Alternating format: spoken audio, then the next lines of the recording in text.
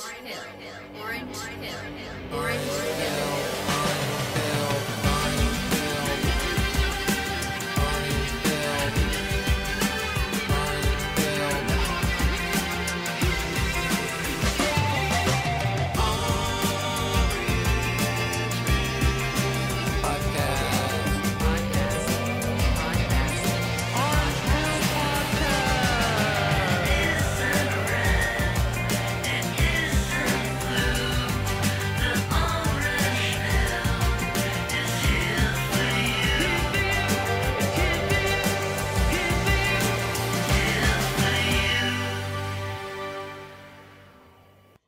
Welcome to Orange Pill Podcast. We have Brandon Quittem coming up on the show, and we talk about reflexivity of the cycles of humans. Exactly. That's right, Max. And we also, you know what? I just want to say make sure you check out swanbitcoin.com forward slash Stacy. My name is S T A C Y. If you want to start stacking Bitcoin, it's never too late. Of course, we have a dip now, so you can also smash buy over at swanbitcoin.com forward slash Stacy. And if you want to secure your Bitcoin, make sure you go to keys.casa and secure your Bitcoins there with a really great secure service that they have there and use the the discount code orange pill all one word just like this. I even wrote it out for you. Look at that. Orange pill. It might be too bright. Orange pill. Anyway orange pill orange pill like that. And um, you write one word and you get 10% off of your yearly income and uh, your yearly cost of your service at keys.casa and right now we want to throw to our sponsor an ad from our sponsor thesunexchange.com forward slash orange pill Sun Exchange is the world's first peer to peer solar leasing platform. Earn Bitcoin solar power in communities in Africa and be part of the new world economy. Visit thesunexchange.com forward slash orange pill and start monetizing sunshine today. Right max what do you think of the ad that we always run at the top of every orange pill episode Couldn't be better. It's a great product. Stack sats from the sun. Have the sun stack your sats for you. What a great idea. Worship the sun. Have the sun convert sun energy into Bitcoin. Ooh la! Well, definitely stack sats, not bananas. That's definitely the thing you should be doing, especially during these dips. Do not stack bananas. They go bad very rapidly. Who's stacking bananas? Max, I am surprised you don't remember. This is Mark Cuban, and you actually linked to the video on Twitter and you uh, mocked him. But Oh, the yeah. fact is, he said he would rather stack bananas than Satoshis. Right, and uh, that's a bad idea. You know, never stack bananas when you can stack satoshis. That's uh, I think been proven convincingly now, year after year, decade after decade. Right. Well, you know what? There's another thing out there in the news this week. Uh, some two items I want to call your attention to. The first is the, is the monolith in Utah, in the desert out in Utah. And now you know that whole area up there around outside of Vegas, Nevada, you know, Utah, so beautiful. Like we just have so much beauty in this country in America. And it's just really stunning. Like if I could spend more time in the desert, I would spend more time in the desert because the desert is the place for me. Mm, I love the desert. I love putting my lizard on. Get the lizard, you know, heat coming down. I just lizard out. My lizard brain just kind of cooks, and I'm totally at one with the solar energy.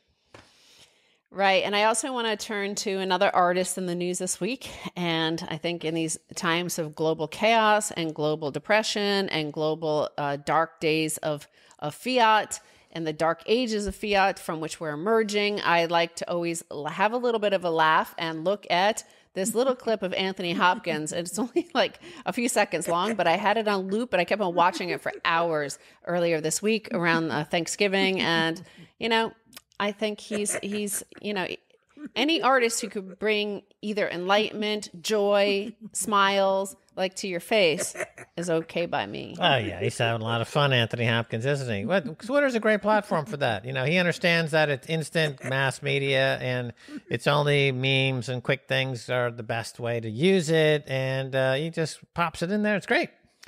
Right. And then let's turn to Willy Woo because he was tweeting about these um, you know, the it depends on where you're looking from, where you started buying, how long you've been involved in Bitcoin, what your uh, time horizon is, and stuff like that. Some people are saying it's a crash. Some people saying it's a dip. Some people say it's the end of their world, and some people are um, are, are super happy. Remember, I told you earlier um, in in maybe the last episode or the one before of Orange Pill podcast.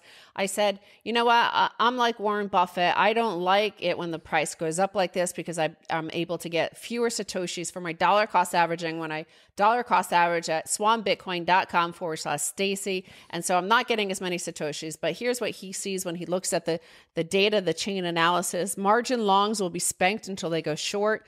Bullishness was way overheated. Exchange flows are neutral. Spot sellers are matched with buyers. Fundamentals are great. The next few weeks, question mark, a great time to scoop cheap coins for 2021. He also noticed on chain as well that the last phase of the run to all time high resistance was marked by small buyers, a class inrush of noob FOMO. That was in 2017. That said, the rate of those new users coming last week was the highest we have seen in this bull cycle, right up there with 2017 mania levels. So, you know, we've been talking about this here on Orange Pill Podcast. Certainly, you know, we have right here, okay? And what we're seeing is that these, you know, big hedge funds like Paul Tudor Jones, like Stan Druckenmiller, they tend not to be as uh, panicky as a retail investor coming in with their $500 worth of Bitcoin. So, however, he's saying that in the last week, you did see a lot of those people coming into the sector. You you probably saw that in the shitcoin market, where in the shitcoin market, we did see like some of those tiny, tiny coins with very little liquidity, small market caps. We saw them go up by up to 40, 50% in a day. And so that was the sign of the arrival of those retail traders, in my opinion. What do you think, Max? Mm, well, I look at it this way. Let's say you had a stock and the stock was trading at 19 and a half. And you look at the next day, two days later, and it's trading at 17 and a half. Okay, what you what would be your reaction? Your reaction would be like, "Oh, okay, geez, um, that's not terribly interesting." And that's exactly what we saw. You know, Bitcoin went from nineteen and a half thousand to seventeen and a half thousand. Now it's uh, pushing eighteen thousand again. I mean, on a percentage basis, it's the exact same thing. It's meaningless. I mean, if you saw this on a 17, 18, 19 dollar stock, you you wouldn't think twice about it. There's nothing to think about it really. Uh, it's it's a it's it's a complete nothing burger considering it's made the move from a dollar to 18,000 heading to 100,000. Uh, you know, we want volatility. Here's a point that I think gets overlooked. In exchange for volatility, we have unconfiscatable censorship proof hard money. So there's a trade-off. You could have Bitcoin could be right there at $1,000 of Bitcoin for 30 years and not move. And um, you know, are you would you would you prefer that? Which no volatility, but it would be confiscatable and it would be also censorable, like you have with a dollar. Okay, that's or would you be happy with that? Or would you take unconfiscatable, uncensorable money and it's going to be volatile as it moves up toward 100, 200, 300,000 a coin? So that's that's that's the question you have to ask yourself. They they you can't have zero volatility and unconfiscatable, uncensorable money. That does never going to happen. So so if you you know, that's it. I mean, so it's nothing.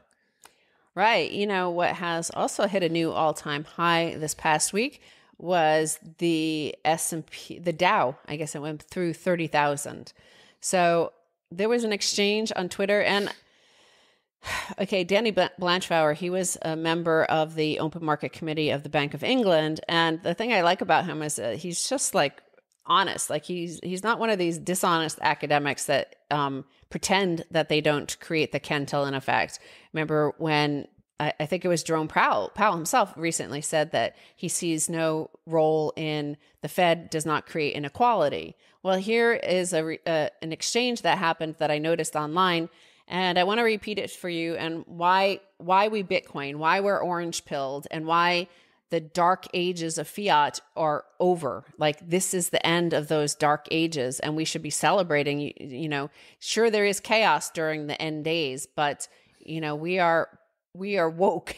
you know, we're ready for it. If you have a few satoshis, you're ready for it. So what happened was Andrew Neil who is a journalist there in the United Kingdom. He said, quote, I had dinner tonight with somebody who thinks he's a great market guru. Said it's mad Dow passed 30,000 in current circumstances. I said no. Equity prices reflect future, not past. 2021 will be a great rebound. I'm optimistic. UK stocks especially underpriced. So, you know, he's like, right, there's going to be great economic activity. This is a great time to invest. You're going to go long the markets. So, Danny Blanchflower honestly responded to him as such. Actually, stocks are mostly driven by global QE, which really has one major purpose, which is to raise asset prices. So again, like this is something that we've covered on Keiser Report a few years ago when he jumped into a conversation I was having with that crazy woman Frances Coppola, and she was denying that um, quantitative easing had anything to do with house prices increasing. And Danny Blanchflower jumped in on my behalf and said, Well, as somebody who voted for quantitative easing, I could tell you that that's what our intention was to cause house prices to rise. So here he's coming in again to people who are saying, Wow, stock markets are rising because of all this economic activity. It's like the economy is going to boom, things are great. And he's like, Well, actually, it's the money printing that's causing this. This is what we wanted. Right. Well, two points. So, first of all, as we covered a couple of weeks ago, when you take out the stock buybacks that are funded by money printing, the Dow Jones would be at 15,000, not 30,000. So that's a 50% difference. Uh, number one. Number two, uh, less than 10% of U.S. households own stocks. So all that money printing goes into the pockets of the few people that own stocks. So that's uh, a problem. That's a political problem, and you have a lot of unrest in America and around the world for that very reason, not the Cantillon Cantillon effect. And uh, number three, um, you know, this uh, th- th- there's no connection between the economy and the stock market. So when Andrew Neil says, "Well, we anticipate an economy doing such and such next year," that may or may not be true, but it has nothing to do with the stock market. There's there's no connection between between the two. Um, as I just pointed out, without the money pumping and printing, stocks would be down to 15,000 and earnings also for these big corporations would also be negative instead of being flat to slightly positive as a result of buying back their own stock. So it's a completely manufactured hallucination, if you will, uh, driven by fiat money. And you say we're in the dark ages of fiat money. Okay, if that's true, and of course it is true, then this is an incredible bubble. The bond market is in a 300 year bubble. You know, I, I saw something about the UK. Their economy is having the worst quarter it's had in 300 years.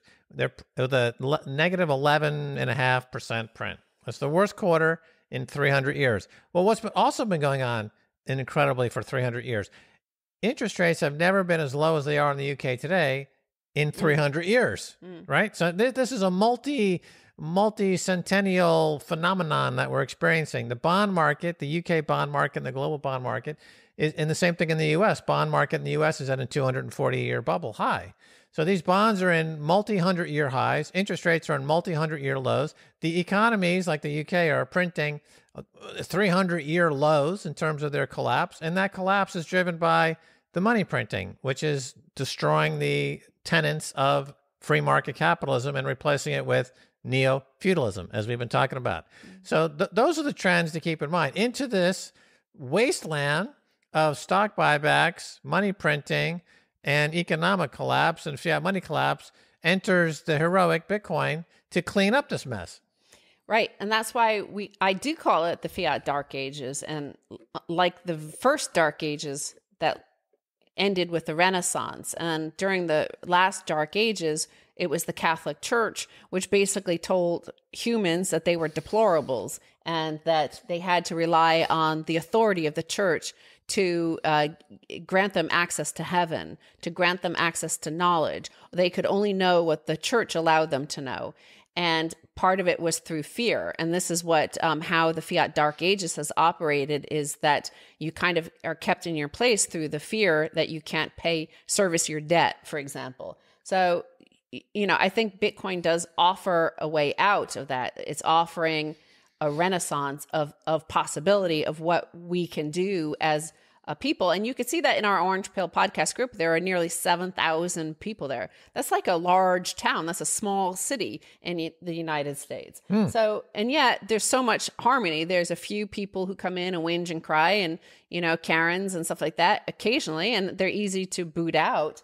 But I, I think it's it's pretty amazing that you can get 7,000 people from at least 100 different countries in the world and have so much um, interesting, deep uh, discourse. Yeah, because f- Bitcoin is about peace, and fiat money is about war. If the if the group was focused on one of the fiat currencies, there would be constant bickering and violence in the group because fiat money breeds violence and war.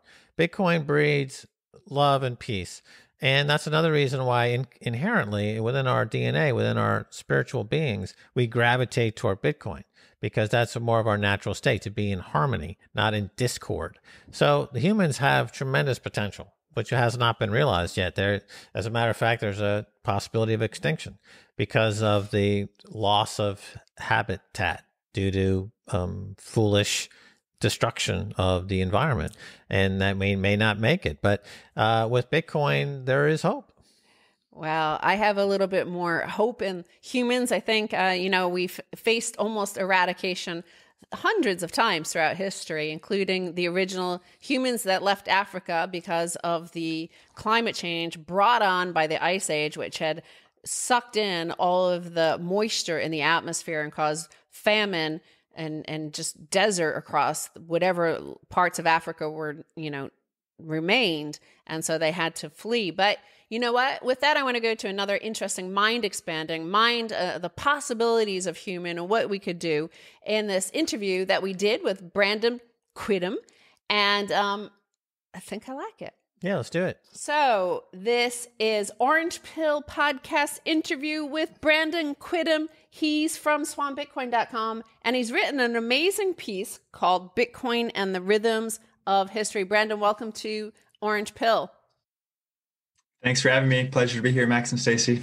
Yeah, I love this piece, Bitcoin and the Rhythms of History, because it just kind of plugs your mind into the bigger picture here. Does so elegantly, well written.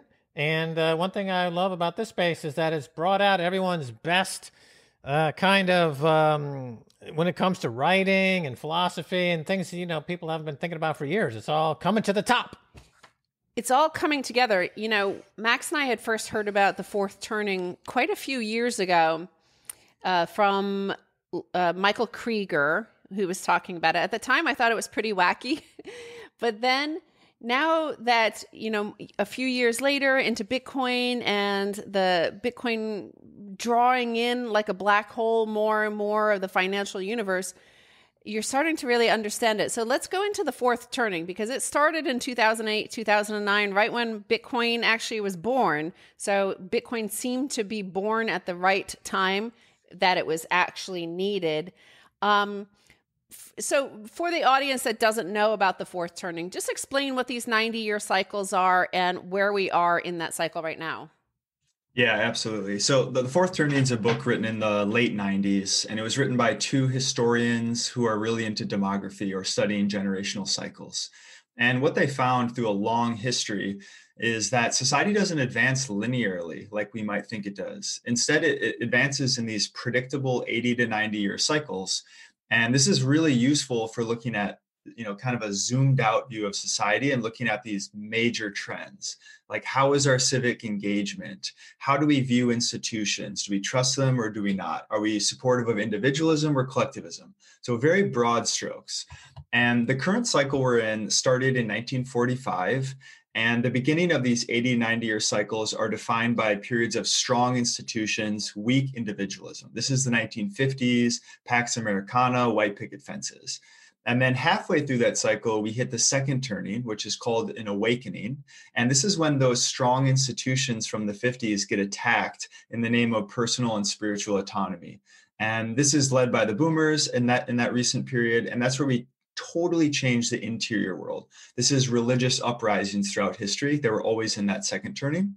And then in the early 80s, we transitioned into the unraveling or the third turning. And this is defined by weak institutions and rising individualism. We see things like deregulation, culture wars, and finances are still going okay. Um, we start to see the decay, but there's really no motivation to change. And then we transition into the fourth turning, like you mentioned. That was the beginning of the global financial crisis. That was sort of the turning point. And what that means is that our institutions have fully decayed. We know they're a problem, and society realizes, wow, we actually need some sort of institutions in society to keep our culture, to keep our organizations going. And so that's defined by tearing down all the old institutions, and usually because of a perceived threat. So historically, war mobilizes the people. We totally change all the external institutions, socio-political economics, and it becomes a new founding point, a founding moment in American history, and it radically redefines our national identity. And so we're right in the middle of that fourth turning now. I don't think we've hit the climax quite yet, but we can look back to a period between 1929 to 1945. That's our best analog for guidance. And so expect volatility, expect conflict, um, expect a rising tide of uh, collectivism, which is quite scary for Bitcoiners. But the young generations, the millennials, they're collectivists. We see all these problems and they think it's important that we band together to make wide sweeping change. It's also a time when we flirt with populism, totalitarianism. And so, yeah, it's an important point to pay attention. And there will be winners and losers. And I just implore everyone to kind of take a deep breath and see where we're at in deep history. Right. You know, talking about cycles and history, and on one hand, it sounds uh, pretty uh, historically easy to prove cycles. On the other hand, uh, people are resistant to accept maybe the fact that, oh, you know, we're kind of locked into a cycle. You know, the fact is that the planets are orbiting in very predictable cycles and that we always use business cycles and we use seasonal cycles and we're always using cycles. Uh, but on, it can get to the point of the banal if you talk about, let's say, astrology, right? Astrology tries to codify certain cycles, and you end up with uh, something that doesn't have much uh, cre- credence, you know, going forward. Uh, and then you have, you know, astronomy, which is the opposite of that, right? It's like, oh, this is actually, we can build Stonehenge and the sun will come up at this exact pot every year at this exact moment, right? So we're trapped in between these two things. Do you think it's, my question is this, do you think it's human nature to reject the cyclical nature of things out of, out of hand? And that's part of the problem. What do you think? Yeah, I think that's a good point. So, first off, looking at history, there's a lot of data to, to, to, search through. And if we're trying to do some sort of analysis on our past, it's very easy to succumb to a confirmation bias. We look for exactly the point in history that we want to then extrapolate to the future. So, again, always important to do that. And the second point you mentioned is do humans reject these cycles? And the answer is yes. Humans think that we are sort of evolved out of nature we are this mega brain that no longer is succumbed to the petty whims of biological evolution. We've evolved past it. We're sort of these big brain gods. And so we reject it.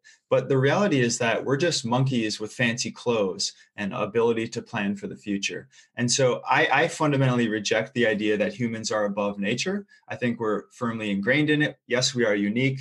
Um, but the important thing here is that things like history, the economy, um, biology in general, evolution, these are complex adaptive systems. And I don't believe that humans actually have the ability to understand these things. For example, we look at our DNA, and up until very recently, we assumed that 98% of our DNA was junk DNA. We literally called it junk DNA because we weren't aware what it was used for. And of course, we didn't know what it was for, so we assume it's junk when in reality, biology has billions of years of iterations and things that are around today are around for a reason. And so I think we can extrapolate that also to our economy. You have the central banker class, the central planning class, and they fundamentally believe, as the big brain monkeys that they are, that they can drive the ship. They can understand the economy and make calculated changes. But what that leads to is all these unintended consequences simply because it's a complex adaptive system and individual monkey brains cannot understand it. And so Bitcoin fundamentally rejects the concept of central planning and says it's not possible for humans. Instead, we create this rigid structure that sort of is the foundation of society. And then we let the individuals go about their, ba- their ways and i think that's just a better a better way to approach economics and it's a humbling perspective Right. So to pick up on that, you're talking about this confirmation bias that humans seem to uh, succumb to. It's also the basis for Greek tragedy. You know, going back to uh, 2,700 years ago, that um, there is a uh, seem to be a certain fatalistic quality to humans to go fly into the sun. You know, and uh, this type of thing. But in the Bitcoin protocol, uh, Brandon, you know, there's something like the the difficulty adjustment, which which kicks in every two weeks. It seems as though it's trying to get us to overcome ourselves. And so uh, this is always fascinating to me about this protocol in that it seems to know us better than we know ourselves. Therefore, are we really ultimately the ones that designed this thing? You know, and then, it, you know, we go off into a bit of a philosophical tangent, I'm sure. But I guess my, my question to keep it simple would be the difficulty adjustment and then the halvings that happen every four years. Is this kind of a, a, way to overcome this confirmation bias and to have humans do something that maybe um, they were incapable of doing by themselves. What do you think? Yeah, really good point. So I, I, would look at history with this, and the example I would point to is that anytime humans were in control of the monetary supply, eventually we become corrupted for some reason and we take advantage of our privilege. And then what we do is we debase the currency for political wills. And you make a very astute observation that what Bitcoin does is it takes away the power of money production. That monopoly is no longer in the hands of humans, and instead we outsource it to a predictable protocol. And the difficulty adjustment, one of the most fascinating parts of Bitcoin, is that perfect governor that prevents the production to be uh, brought into new Bitcoins being minted at a rate that is exceeding the pre programmed schedule. And so, for example, to make this point tangible, let's say we feel that Bitcoin's valuable, and today we, we point all the energy production on our planet towards mining Bitcoin. What will happen? Okay, for the next two weeks, we will mine a ton more Bitcoin, let's say 10 times more Bitcoin than we should have for a two week period. And then, right when the difficulty adjustment kicks in, now all of a sudden, um, it's going to be way harder to produce those Bitcoins, and we're right back on schedule. And so, like you said, it prevents human greed and human instinct from uh, co opting the protocol. It's very elegant. Right. And the miners who are constantly faced with capital expense and expanding their capacity, et cetera, even if that suddenly had a burst of production, they wouldn't necessarily buy into it because they know that the difficulty adjustment will take them right back to a more predictable output anyway. So that keeps the CapEx expense in check as well. Stacy. Right. Um, let's uh, continue on with these cycles because we're talking about that fourth turning and that we're in the middle of that now. We also have been talking on our various programs about the Thucydides trap. And this is a, another huge cycle that happens throughout history, 18 times throughout history of a rising power, you know, surpassing a, a, a sinking power. So we're in that at the same time that we're in this, you know, fourth turning in the United States. Now, in 1929 to 1945 was kind of also a Thucydides trap as well, in that the British Empire was falling and the American Empire was uh, rising. Um, so meet that because you know back in the 1980s when when uh, the fourth turning was written by Neil Howe and William Strauss, they wrote then that sometimes before the year 2025, America will pass through a great gate in history commensurate with the American Revolution, Civil War, and the twin emergencies of the Great Depression and World War II. So those are pretty seismic events that they're saying these are the last four or five years that we're entering now of this fourth turning. We have the Thucydides trap. And bizarrely, on top of this, we've elected a president who was born before this cycle began. So he's older than born in 1945. He's born in like 1942 or 43. So this is pretty crazy that we've elected a guy from a previous cycle at the end of the previous cycle, born in the last few years of that previous cycle um, who kind of has cognitive decline as well. So, like, put all of these together into one thing. Like, it could be pretty, this could be a one for the history books of fourth turning, which are pretty historic in themselves. Yeah, I, th- I think that's a good point as well. And a couple points to point to touch on here. Number one, uh, we're halfway through the fourth turning and we haven't hit the, the crisis or the um, peak yet. And so what that means is that in the next five, 10 years, a lot is going to happen. And you can rewind to the late 30s. Um, let's say 1940, 1939, 1938, somewhere in there, uh, pre World War II, right? It's just a recovering from the Great Depression period. Um, we just instituted Social Security, pensions, unemployment insurance, FDIC. We're trying to get the economy back on uh, with the New Deal. And then we, then in 1941, we go to World War II. And then in 1944, we go through Bretton Woods, 1945, 1946. Now we're in this Pax Americana period. And what happened there? We went through a giant global war. We went through a period of uh, re architecting the exterior world through Bretton Woods, World Bank, IMF, NATO, um, all these mega institutions that pretty much set uh, a new course for American history.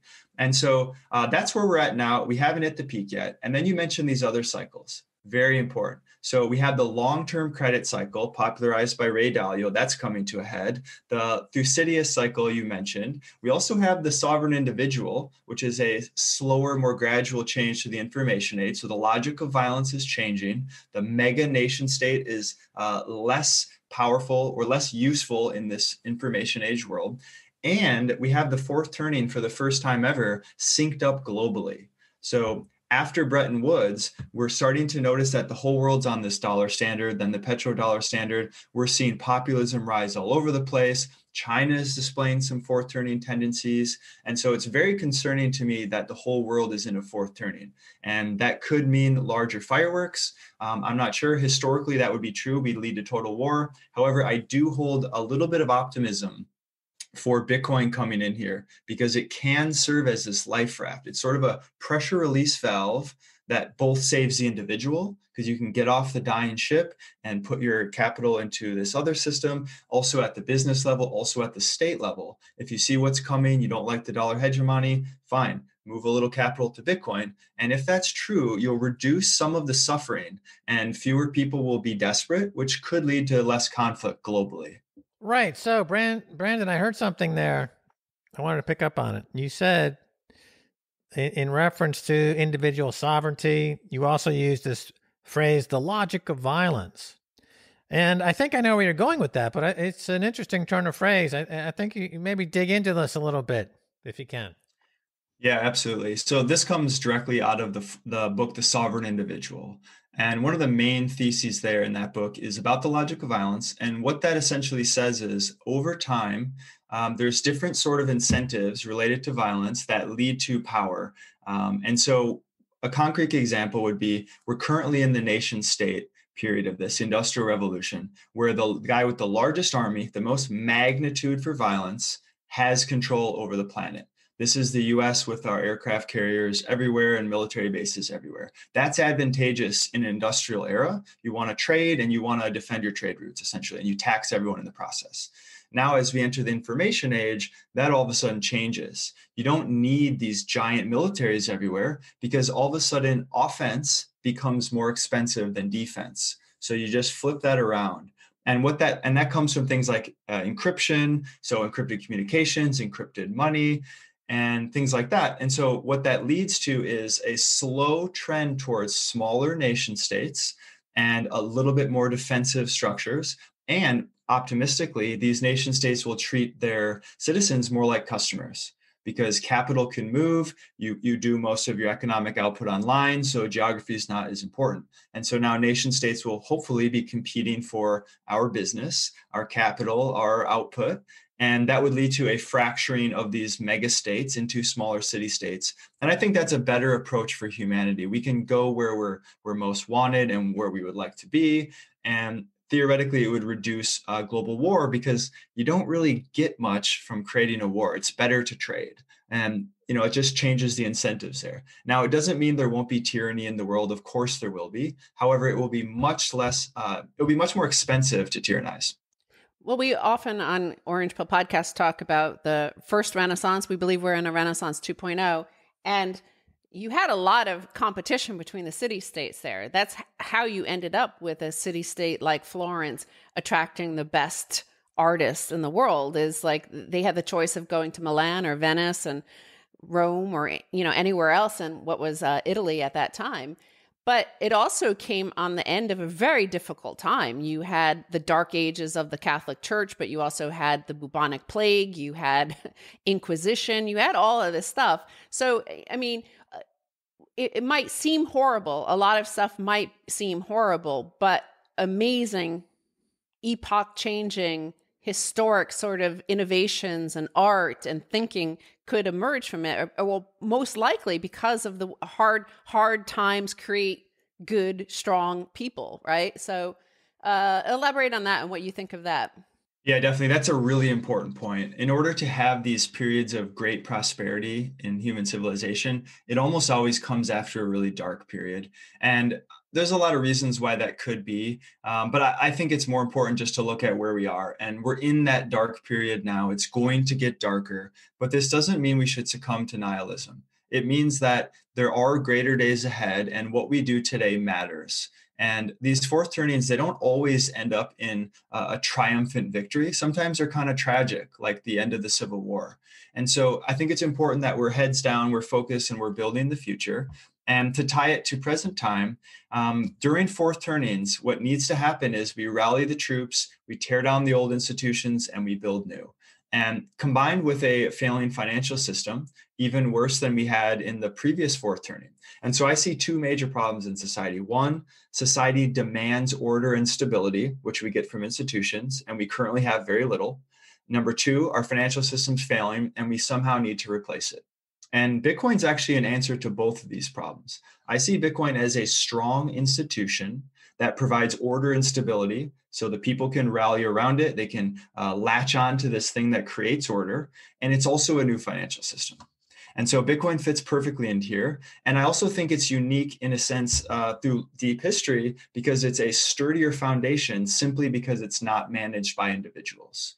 And institutions run by individuals decay over time, as we mentioned, they're easy to change, et cetera. And what, what happens is when humans are in control, it leads to inter- interventionism and protectionism, which feels good in the short term. However, it simply just suppresses volatility, it hides the risk, and that leads to greater meltdown. And anytime we have financial crisis, it actually makes inequality worse.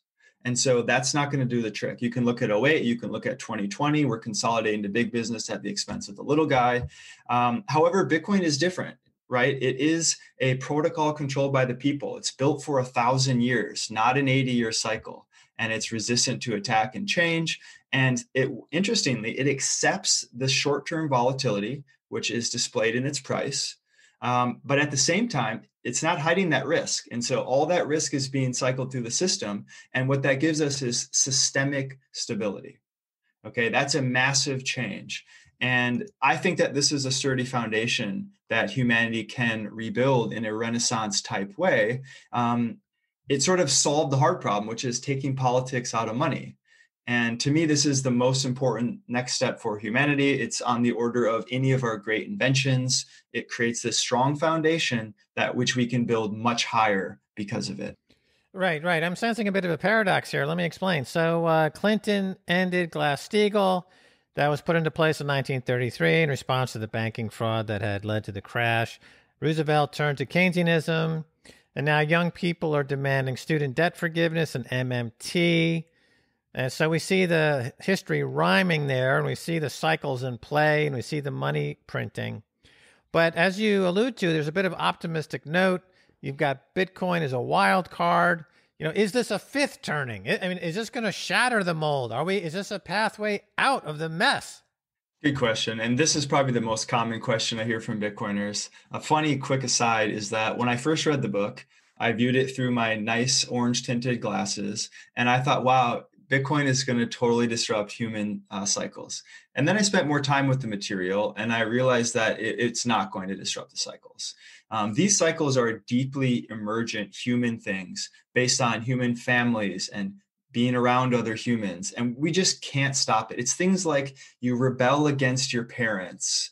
And it's just that fundamental. And so, how I see Bitcoin playing in is it might reduce the volatility in these cycles. If you think of a sine wave, it's just going to compress that wave which i think is is better for humanity because those blow off tops cause all kinds of problems and so I, I just see it as a volatility dampener and that will reduce waste and, and sort of lead us to higher economic growth over time.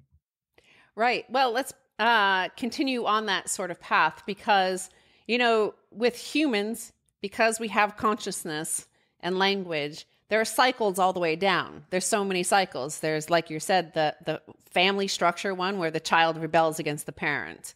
There's the generational ones, the multi, the four generation cycle. There's the more epochal one of the Thucydides trap that can last hundreds of years. Um, but you know, it really, mo- you know, humans didn't really.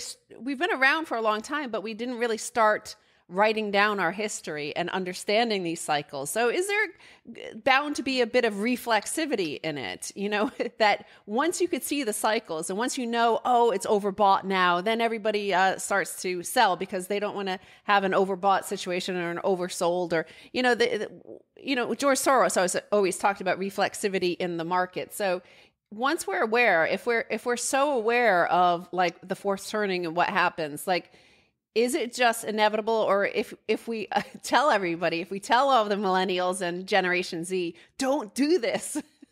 Yeah interesting point yeah it's kind of a, an emergent mark or an efficient market hypothesis applied to these demographic cycles which i think is absolutely hilarious. Um, but there is some truth to that right? Once humans observe a cycle um, we do push back on it. There's a symbiotic relationship between the individuals and history. And that's actually what creates this cycle. And so um, to illustrate something from the, the book there, I think that you can summarize the book as history creates generations, generations create history. And what that means is everyone's born, let's say we're all millennials, we're all born at the same time. History imprints a sort of fingerprint on us based on the time that we were we were born. We all grow up together in that time period, then we become adults, and you can sort of generalize this group which all grew up the same. So we're going to react the same when we become adults. And then we start pushing back on history and changing history, which then influences the next generation.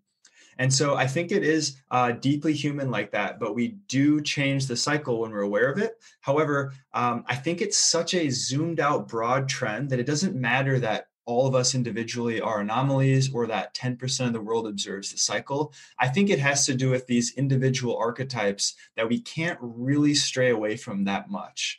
And so these archetypes, each generation has an archetype, and the constellation of those archetypes, you know, is the idealistic one in charge, or are they the old, you know, the young people? Is the um, collectivist in charge, or are they still children? Right? So the constellation of those archetypes dictates the mood, and that's what dictates the, the response to catalysts. And so I'm hesitant to say the efficient market hypothesis here applies too much, but there is definitely symbiosis. Yeah, in your piece, Bitcoin and the Rhythms of History, you know, you take that, um, you know, you, you break it down into different generations are in charge at different times, and then the next, which generation is in waiting, et cetera. And you build the whole story up like this. And that's, I think, what makes that piece so fascinating. Um, you know, it's gotten a lot of circulation, your piece. What's been the, you know, you talked a little bit about what, what people have reacted to it and asked you questions about it. What, what's the overall feeling about that you've gotten, the feedback you've gotten to the piece? Uh, you know, it's going into a community of Bitcoiners primarily. Um, you know, they are coming in from all different fields, all different uh, schools and things. What what's been the reaction, and it did, has it surprised you at all? What's been the most surprising reaction you've gotten since this piece went out? Because it has circulated quite widely. Yeah, definitely. So initial feedback was very positive. I've I've gotten hundreds of messages saying it was the most mind blowing thing they've ever read. Um, that's one cohort. Now, you also have a cohort that says, I fundamentally reject these cycles because you can't make such broad, sweeping generalizations. And usually, the premise of that argument, at least my assessment of the argument, is that number one, technology is too powerful. And so they would rate technology as a stronger driver than these human archetypal generational cycles. That's one. And the other one is, well, my big brain says that um, this time is different and every time is different throughout history. And so I would say there's those two camps. And to the technology people who think that technology is more powerful, um, you know that's a reasonable approach but I, I, think there's another angle here which is that the mood at the time determines what demand there is for technology. And that demand through this mood is observed by entrepreneurs, which leads to technology in the future. And so they're coming at it from two different ways. I don't think either either direction, either technology, economics versus generations, I don't think either one's perfect. But I think it's important to realize that these cycles are very deep. They produce a mood, which then gets produced into the future. And one concrete example would be Facebook. Um, this is a millennial driven phenomenon. Gen X would probably find Facebook in its early days to be completely insane as the individualistic generation. Millennials are like, we're all the same, um, no problem, let's put everything on the internet. And so that is very much a millennial driven change. And if you didn't have millennials driving the Facebooks of the world, maybe we wouldn't have produced those in the first place because there wouldn't have been a demand for it. I hope that makes sense. Right. You know, we come back to 2008 because that was the financial crisis. That's when Bitcoin was born. That's also that financial crisis was the first election that millennials really participated in, and they came out in force for Obama. And Obama, interestingly, Matt Stoller, who does amazing work on anti-monopoly stuff, he um he said this was the equivalent of during the Great Depression when the people, like the people basically in 2008 chose Herbert Hoover over FDR. So they made the bad choice. They made the choice of Obama, who was an amazing orator, like historic in terms of how amazing he was as at, at public speaking. But he chose the corrupt banking system. He chose not to burn it down. He chose to keep it propped up beyond what it was. So I know, I mean, a lot of these fourth turnings end in just all out physical war of people killing each other. But in a way, you know, that was a choice of a financial class war that he chose and that we're still going through. Uh, look at the opioid overdoses in America. Look at the decline in the mortality rate. I mean, that the, the fact that the mortality rate is going down that the first time in peacetime in America suggests actually maybe it is wartime. So maybe there has been a different sort of war. Yeah, I think that's interesting to bring up Obama here. And Obama was, uh, again, in 2008, that's the transition period between third and fourth. And what we see in fourth turnings is civic engagement skyrocketing as the millennials, the hero archetype, come of age and start voting, like you mentioned. However, Obama was sort of a transition president. He had one foot in the in the third turning and one turn one foot in the fourth turning. And an interesting parallel between the two is in the third turning, politicians hide all the problems and they say, no problem, you know, it's not a big deal. They, they minimize them. And that's simply because there's no demand for change in the third turning. Now, in the fourth turning, people all of a sudden realize, probably spurred by the global financial crisis, that holy shit, we really need some change. And so then what you see is politicians weaponizing the fact that there's a demand for change. And they come up with slogans like hope and change, make America great again, drain the swamp. Those are all pushing on that pain and, and saying, look, I'm the guy to make the change. And so that's a really interesting analogy. And Obama certainly uh, said one thing and did another. And that's pretty frustrating to see. And now that we're in uh, sort of the peak of the fourth turning, historically, what we need is a quote, gray champion. This is someone who's a little bit older. They are molded by the situation. It's someone you might not expect. FDR was this person in the 30s, whether or not we want to criticize him. Um, but he's something that young people rally around and has tremendous popular support. So his election in, in 32, it was the most popular uh, vote of all time. And so that's sort of the sign. And I don't see that with Joe Biden, and I don't see that with Trump. And so, from a political standpoint, I'm not sure who, sure who our gray champion's going to be. That's sort of one of the the down facing cards we've yet to flip over in this fourth turning. Right. I mean, you could argue that it would have been Bernie Sanders, mm. but uh, through a lot of uh, questionable machinations in the political circles, he did not take his place. So they it's been a the the cyclical the grand cycle has been thwarted. And the results you know could be a, a, derailment i guess. I mean that's part of the fourth turning is that you the thing comes off the rails and it just there's no and and you have this horrible horrible historical moment. And maybe looking back they'll say well had that not been the case and there was this guy got, through. This was uh, uh, when when history wasn't served, and we ended up with this terrific thing. And it was either part of the turnings or, you know, it's fascinating stuff. So anyway, I mean, I'm going to read it again. I've read the whole thing twice now. I'll probably read it, you know, every few months. I'll return to it just to know like where I am because otherwise I'd be totally lost.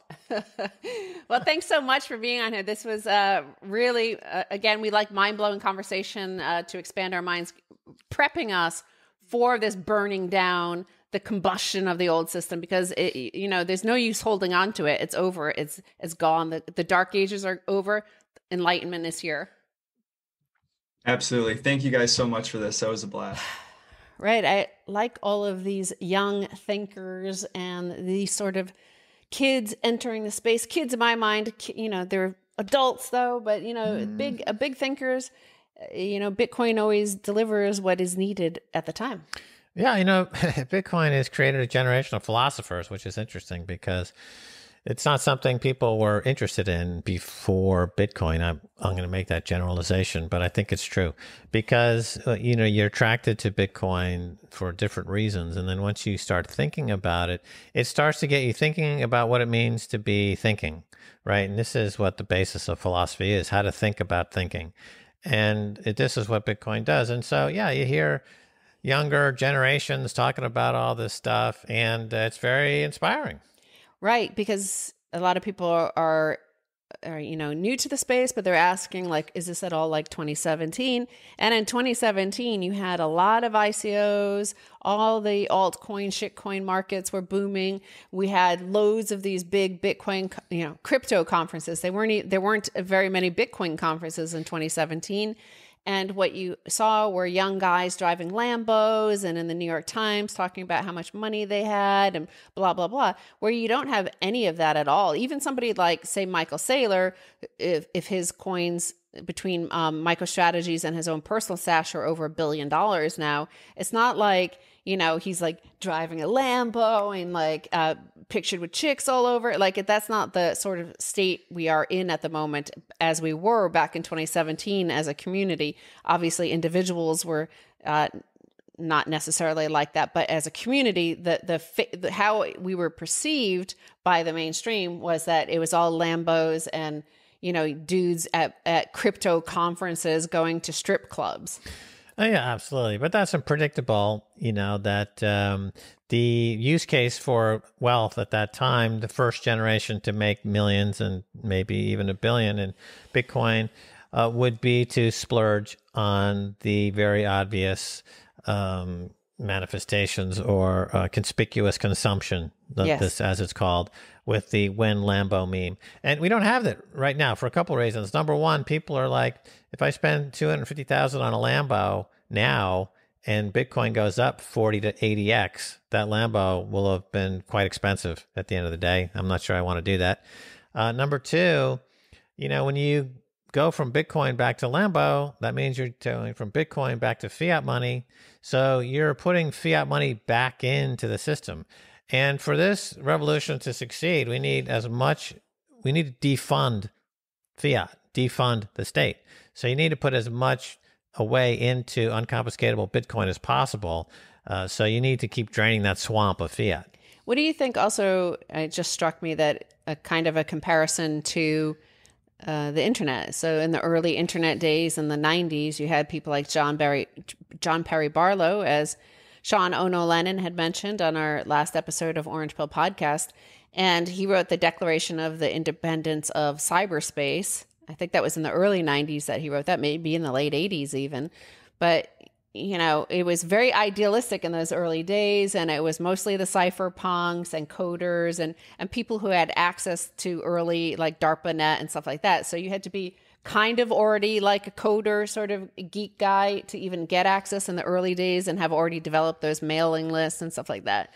So it went from there then to the late 90s that we all know as the dot com bubble and it was the same a similar thing. It was like all about the lambos and the ceos and all these young like 22 year olds minting themselves a fortune on these um, stock ipos and and then that collapsed. And then then then we got back down to business and the internet especially connecting people around the world, the the value of that started to um, build.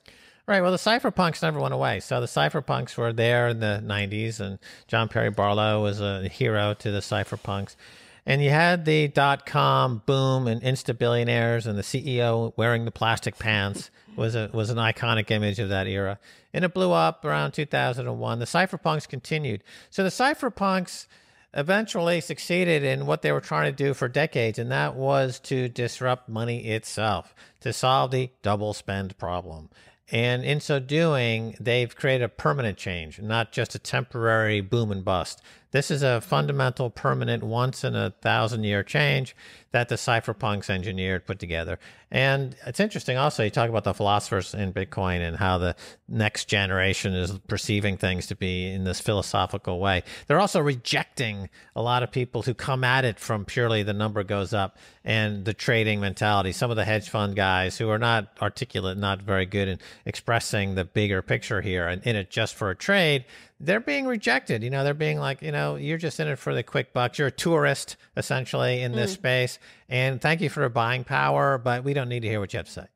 Right. I mean, what would the Renaissance have been if it were, you know, if there were, you know, a Soho or Chelsea sort of scene, Manhattan scene at the time, whereby, you know, Da Vinci and Michelangelo and Botticelli and Titian and these guys were just like, you know, meaningless, frivolous celebrities who were being pictured in the tabloids and not something else driving them to communicate something about the magnificence of of man, of humans. You know, the beauty of humans that had been hidden through the dark ages and and knowledge of philosophy of the Greeks and classical um, architecture and art and and the gods.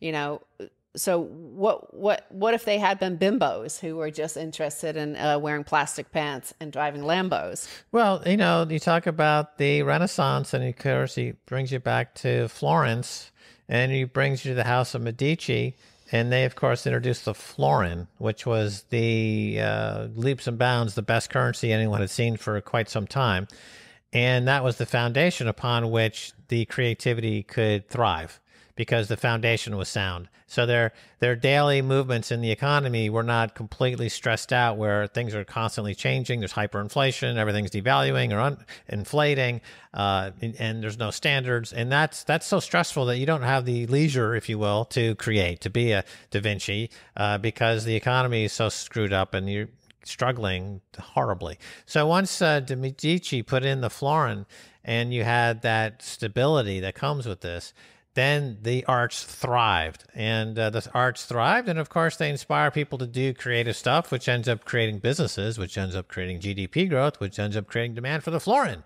and mm. end up creating demand at the house of medici. So you know it's a self-fulfilling uh, prophecy. It's a symbiotic relationship. The artistic spiritual side and the sound money side go together you know quite brilliantly and and they emphasize and, and, and build on each other I might add as well, like if you think about that that period to here, is at that time you did need a Lorenzo de Medici, right? He was powerful and very wealthy, so could stand up to the Vatican, who was all powerful at the time. The Vatican did send in armies and try to have him killed. So I mean, it was like a dangerous time. The, the Vatican did. Um, they it, it um, excommunicated the whole city of Florence, and and that was actually something that meant something to the people there, and it was very uh, stressful situation for Medici to even be to because of him to have the whole town, the city excommunicated. Right. Whereas, so you needed that guy to be strong and stand up to the Pope, and it's. I mean, it uh, it would have been understandable had he not. But now we don't even need that. Like the dark ages now is overseen by the the fiat system and the Vatican is the um, the central banking system. But Bitcoin, there's no you know there is Satoshi, but he's anonymous and or they or she nobody knows who Satoshi is. So there's no one person that needs to stand firm. It's this it's this network, peer to peer network around the world that will always stay strong against the onslaught. Right. So the uh, House of Medici had to take on the Pope, and the Pope had an army, and the Pope would send out his army. And Medici in Florence had an army, or they would uh, form alliances with other states that had stronger armies, I guess in Venice or whatever, and they, and so this was a constant tension. Now, today, you're right that the new uh, papacy, the new Vatican, would be the central bank, and and the, and Bitcoin is the new uh, house of Medici. Uh, the difference is that the central bank still, as they did in the Middle Ages, rely on violence and coercion. Yes. And the new House of uh, Medici, with empowered not by the florin but by Bitcoin, doesn't need violence, doesn't need coercion because it's unconfiscatable. I mean, in the old days, in the Middle Ages, you could come and take your gold, right? They had their, their gold was stored in in in uh, Florence. Yeah, and, and there was a, a vault, and they had the gold. And sometimes, you know, they had to defend that gold. But if you have unconfiscatable billions on your private key, and there's no way you can violently take them, then the old guard, which could be the Federal Reserve Bank slash papacy, they are at loggerheads. They can't do anything about it. So now we have this first time ever where pure creativity, pure spiritual energy can can be freed, can just be free. We don't know where that's going to go. That's the amazing thing. Like if you were to allow humanity's spiritual energy free to roam as it wants to. We we don't know where that can what's going to happen. I'm really curious. I mean, we're going to know in the next couple of years, but what is that going to mean? Right. And well, let's uh, look at that moment as an opportunity to go to, you know, some Abe Cambridge of the sunexchange.com forward slash orange pill and look at, you know, the realm of possibility out there.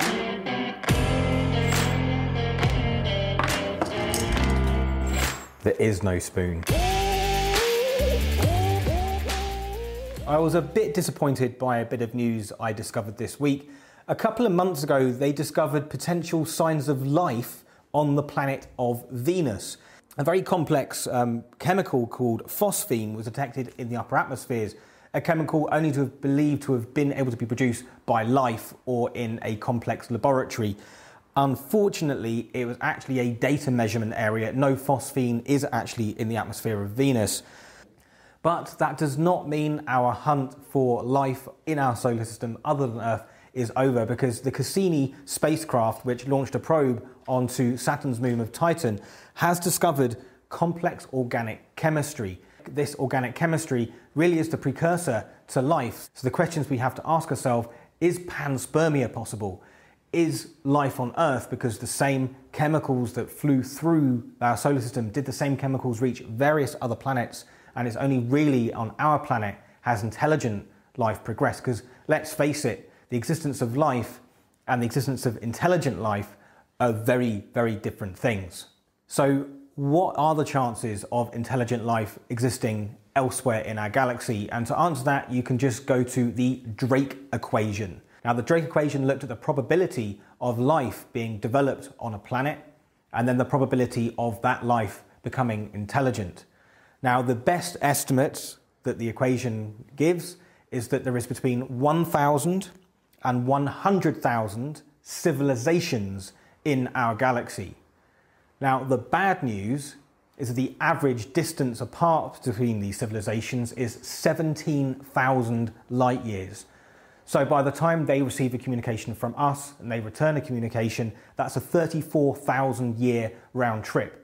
Now, bearing in mind that no civilization on Earth has yet existed for more than a few thousand years, it really shows us that we have to pull our socks up and become a sustainable civilization that can live within the confines and limitations of our planet to be able to survive for long enough to be able to communicate with another civilization. And if we want to start spending space probes to these other civilizations, we better come up with some better ways of getting there because now the best ways of traveling around our solar system are limited, but we have got one very cool one that's coming up, and I'll tell you about it in the next video. Right. He's left us on a cliffhanger there. Well, I mean, this is a great question, and uh, I have the answer. Okay, give us the answer. Oh, Max Keiser. Well, he talks about 17,000 light years being the average distance between what potentially a thousand and a hundred thousand civilizations or intelligent life, and that communication, therefore, is impeded by this distance. But here's, you know, my I'm working on this for a number of years, though, and I've told you about it as well. So human brains are at the point now of becoming networked, and the global unconscious becoming into the hive mind.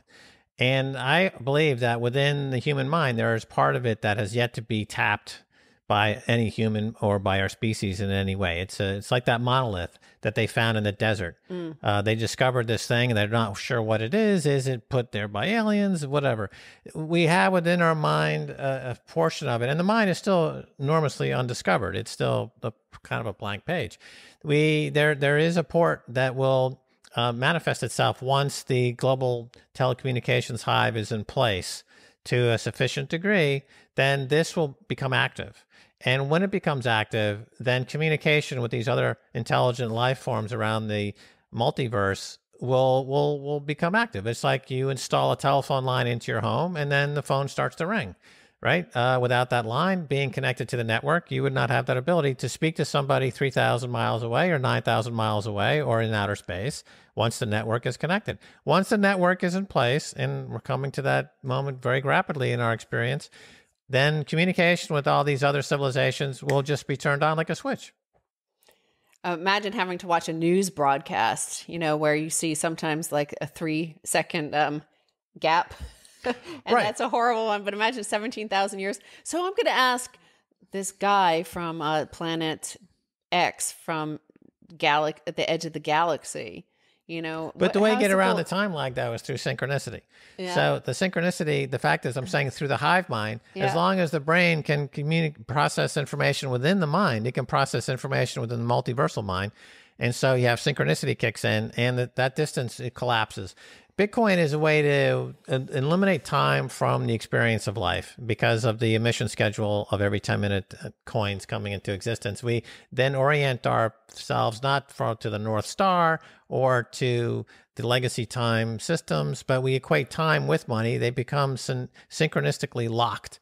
And then that's part of discovering in our own minds this multiversal node and then the synchronistic con- con- conversation begins and the time and space collapse and there's no such thing as time and space and that's happening really really fast now and bitcoin is the vector to, to get us there that's that's how we're getting into this is through bitcoin Right. And you know what? We actually have to go uh, because we are restricted by time, and the time is telling us that we're going to have to go do a podcast with BTC sh- sessions in a few minutes. But first, I want to say because like I, we like to talk about Michelangelo and Da Vinci and the Renaissance, and you know that brings me to Diego Maradona, who died this week of a heart attack at sixty.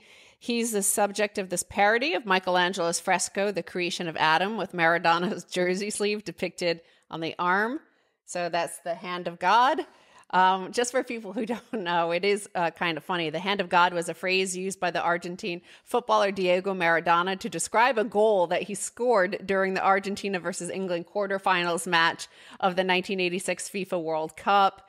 It took place in Mexico City. Uh, under association football rules, Maradona should have received a yellow card for using his hand and the goal disallowed. However, as the referees did not have a clear view of the play and video assistant referee technology did not ex- yet exist, the goal stood and Argentina led 1 to 0. The game ended with a 2 1 win for the Argentines thanks to a second goal scored by Maradona, known as the goal of the century. After the match, Diego Maradona stated that the goal that he scored with his hand was scored a little with his head and a little with the hand of God.